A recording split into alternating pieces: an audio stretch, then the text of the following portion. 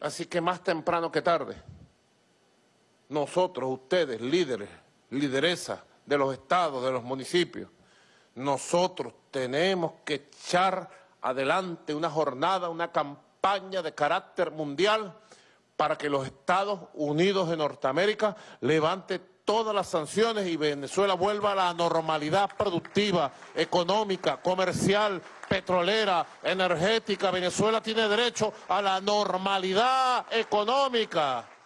¿Por qué nos tienen que perseguir? ¿Por qué tienen que perseguir un barco petrolero?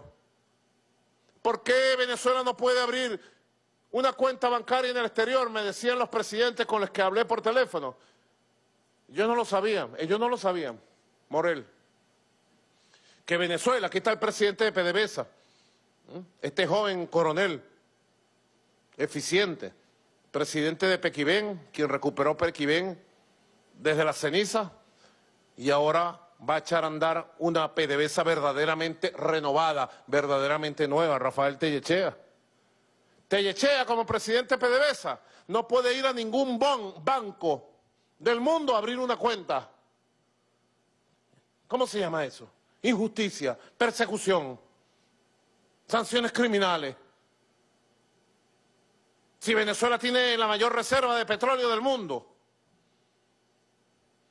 si Venezuela tiene la mayor reserva petrolera del mundo y produce petróleo, afortunadamente ahora producimos también carne, leche, huevos, papa, frijoles, arroz, ahora producimos alimentos, afortunadamente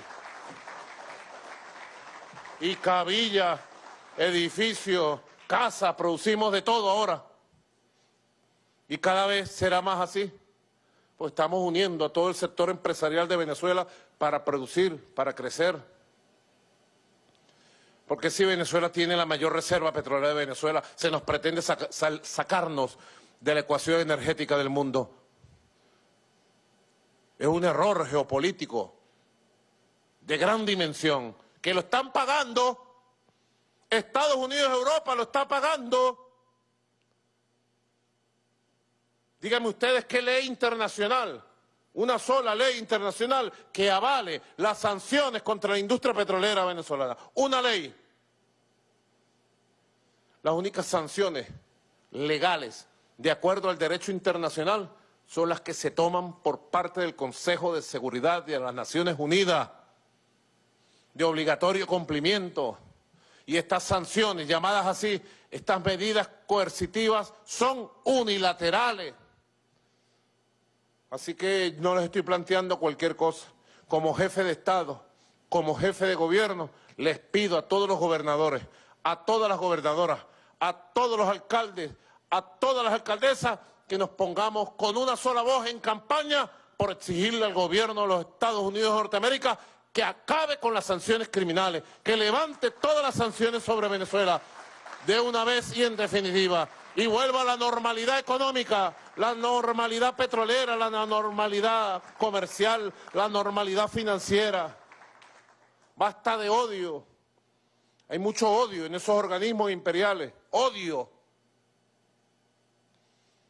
Racismo. Racismo contra lo que es venezolano, xenofobia contra los venezolanos.